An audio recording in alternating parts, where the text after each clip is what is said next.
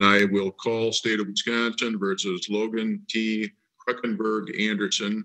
16 year old Logan Kruckenberg Anderson is charged as an adult with first degree intentional murder and hiding a corpse in the shooting death of his own newborn daughter. Mr. Kruckenberg Anderson appears uh, via Zoom from the Juvenile Detention Center where he is incarcerated.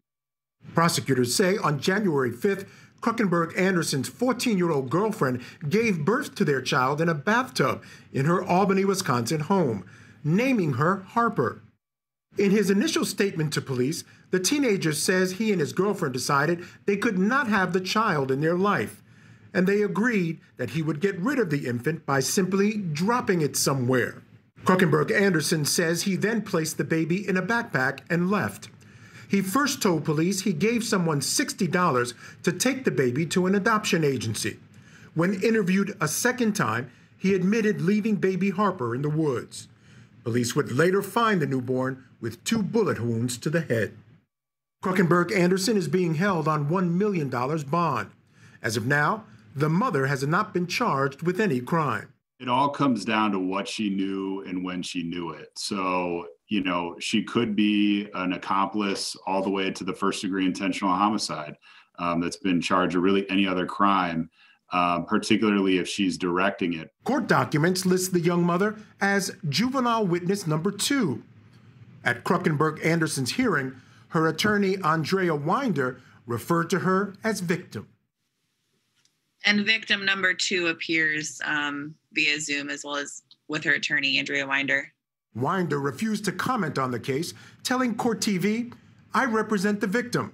I'm frustrated my 14 year old client is an innocent 14 year old girl and has to relive what she went through.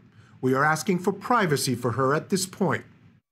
Nothing in official documents suggests the mother ever reported the baby missing.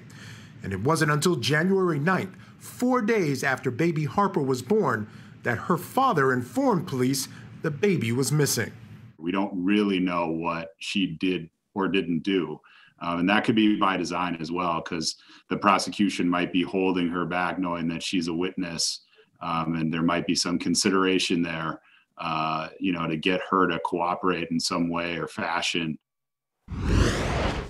This was an execution of, of a little baby. Two bullet holes in her head. I, I don't understand this. Let, let, me bring in uh, Court TV anchor Michael Ayala. Yeah. Michael, this is it's disturbing on many levels, and, and unbelievable. we have to acknowledge that. Let's let's talk about the mom for a minute. I mean, mm-hmm. she's just 14 years old herself. Yeah. Uh, what do we know about her? Vinny, think about it. 14 years old. What did you know at 14? You know, it's just, it's, it's mind-boggling stuff. I mean, basically, that's really all we know. They're keeping a lot of that close to the vest. She's two years younger than the defendant, right? So that may play into her not being charged. They need her a little bit to talk about what happened. So maybe they're holding her back as a witness. Um, I do know that, in fact, uh, she is, according to the statement of the defendant, that he exonerates her. He says she didn't know what was going on. They, they thought, or she thought, he was leaving the house with the baby to leave them somewhere. And you know, the, the coolest irony of all in this case, Vinny, is that there's a law in Wisconsin that allows folks within 72 hours of a baby being born you can take that baby to the hospital, you can take it to the police, fire station, and leave it there, no questions asked, anonymously. They can't come after you, they can't come back. If you let them know you're not coming back for that baby, they will take care of it. The state will be responsible for it. So there were options for the, these kids, and they just didn't know or just couldn't think right at that age. Yeah, I, you know, it's, and I don't, I don't know how you but how do you get from there to an execution in the woods? That's the, that's the leap. I don't I don't understand that. I don't think I'll and will ever understand it. Yeah. Um, let's talk about that, Father. So what's next now for him? Well, as you mentioned, how do they get there? Well, he will be evaluated for mental issues. Maybe there's some mental issues there. Uh, he does have a preliminary hearing scheduled for February 5th.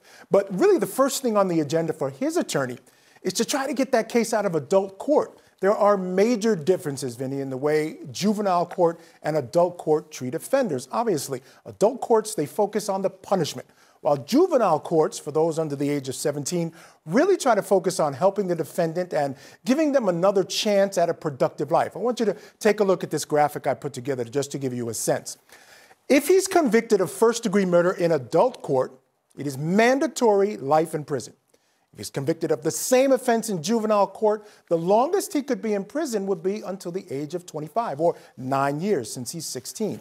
If he's convicted of a lesser offense, let's say he gets second degree murder, or they convict him of second degree murder in juvenile court, the max is just three years. So major differences there. Um, but this type of case with these facts, it's going to be very difficult to get it moved to juvenile court. Absolutely. I mean, if the facts are, you know, it's the way that this this killing was done. I mean, it's it's execution style, taken out into the wood, a gun to a baby's head. Yes. So, what are the chances here? Now, let- let's talk about that because there's such a big difference here. Uh, nine years, he's back. He has his whole life. Um, what are the chances of getting removed to juvenile court? Slim and none, Vinny. Uh, to get the case removed to juvenile court in this case, it's going to be a two step process. Under Wisconsin law, if you're charged with first degree murder and you're 15 years of age or older, the case is automatically under adult court jurisdiction.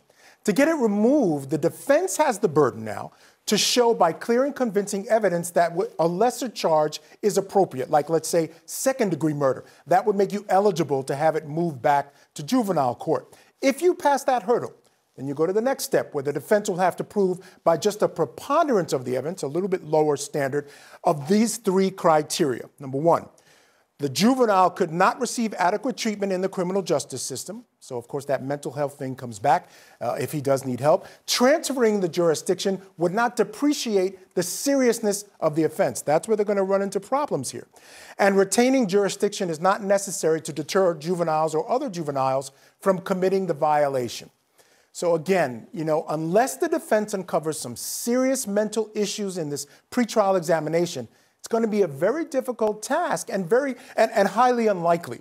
You know, we saw in the Slenderman case that we've covered, the 14-year-old girls there that they stabbed another girl. The judge there refused to send that case back to juvenile court because the crime was so serious. And fair to say here, Vinny, considering who the victim was, this one is a lot worse. It is worse. It is, it is really bad. Michael Ayala, uh, appreciate that analysis and, and insight. Thank you so much.